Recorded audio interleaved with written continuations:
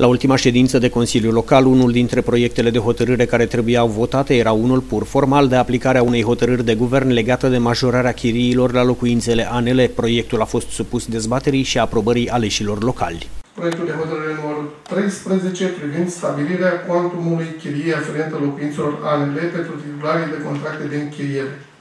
Avizul Comisiei pentru Buget Finanțe. Aviz favorabil. Avizul Comisiei Juridice. Aviz favorabil. Discuții? Supunem la vot. Cine este pentru?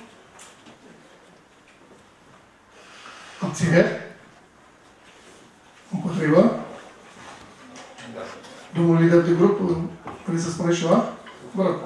Liderul grupului de consilieri local PSD, Dan Vasiliu, a explicat votul celor șase consilieri social-democrați, motivându-și abținerea, care înseamnă, de fapt, un vot împotrivă.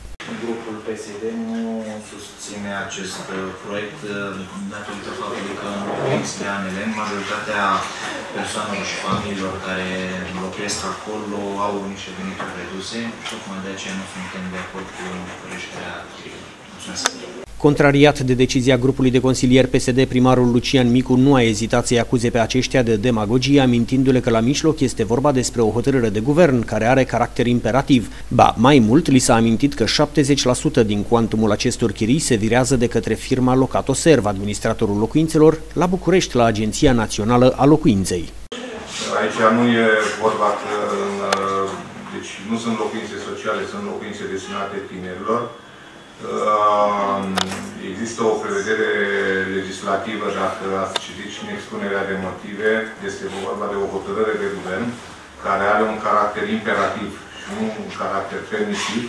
Deci pentru noi, ca și Consiliul Local, există obligativitatea aprobării acestor tarife reglementate prin hotărâre de guvern, așa cum spuneam. Mai mult decât atât, 70% din sumele încasate de la tinerii până în 35 de ani merg la Guvernul României, iar la tinerii uh, peste 35 de ani, 45% merg la Guvernul României. Deci asta ca să înțelegeți că nu e o uh, normă impusă de primărie sau de Consiliul uh, Local, ci e doar o prevedere legislativă și nu trebuie să dăm dovadă, părerea mea, de demagogie atunci când trebuie să ne asumăm niște lucruri reglementate prin hotărâri ale Guvernului României. Ironic, președintele de ședință, care a uitat că proiectul a fost votat, a întors-o pe glumă rugându-și colegii din PSD să intervină la guvernul Grindeanu pentru reducerea cu 50% a cuantumului chiriei la ANL-uri, asta așa, de dragul tinerilor. Da, poate cu ocazia, poate cu ocazia asta o să vedem un demers de la dânsii către guvernul dumnealor, prin care să reducă chiriile la jumătate. Eu aștept și cer și sprijinul presei ca peste o lună de zile să fiți întrebați dacă într-adevăr la întâlnirea cu doamna Șaide ați făcut un demers de, de acest gen.